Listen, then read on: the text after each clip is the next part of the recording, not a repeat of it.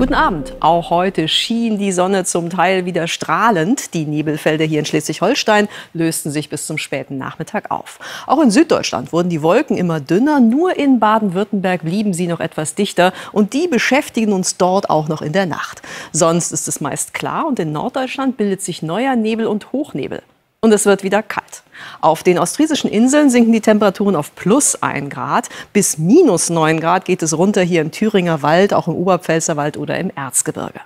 Morgen liegen die Höchsttemperaturen am Alpenrand, am Main und Rhein und westlich davon bei 10 bis 14 Grad. Das ist fast schon frühlingsmild. Meist aber sind es nur 6 bis 9 Grad. Und hier an der Ostsee bleibt es zum Teil 3 bis 5 Grad kalt.